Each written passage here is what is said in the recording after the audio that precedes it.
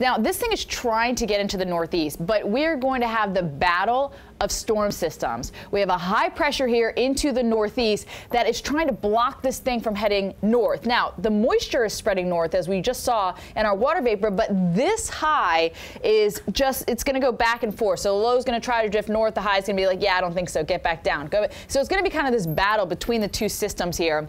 But that low is just going to be pesky and sit around and really try to make its move here into the northeast. So watch for some showers as we head throughout the day today. They're starting to rotate towards the New York area. It's chilly too, temperatures into the 60s. And again, you see that rain is tomorrow through into the northeast, but watch what happens. That high pressure pushes it back down on Saturday. So it's really this battle going on.